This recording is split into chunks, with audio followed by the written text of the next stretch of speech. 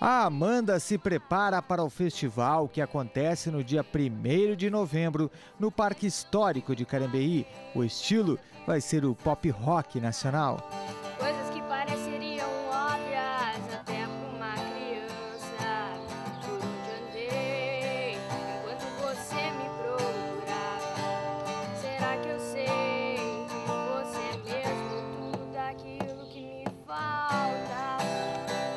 As inscrições estão abertas. A inscrição ela vai até dia 29, né, agora de outubro.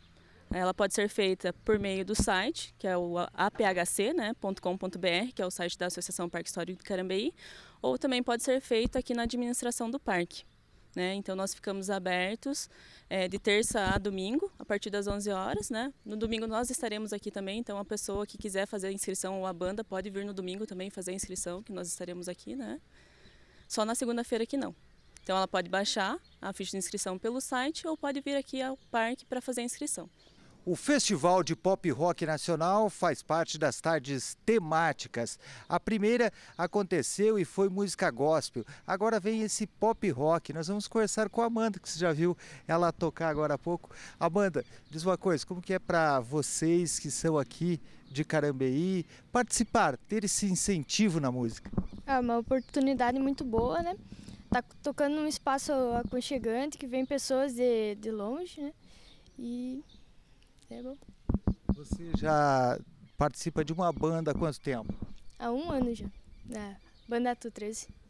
E vocês vão, se focam mesmo no nacional sempre ou não? Não, a gente. é, nós gostamos de pegar estilos é, do mesmo estilo, mas com músicas variadas, não se apegar apenas um estilo do rock. Sim. Você toca mais um pouquinho pra gente? Estou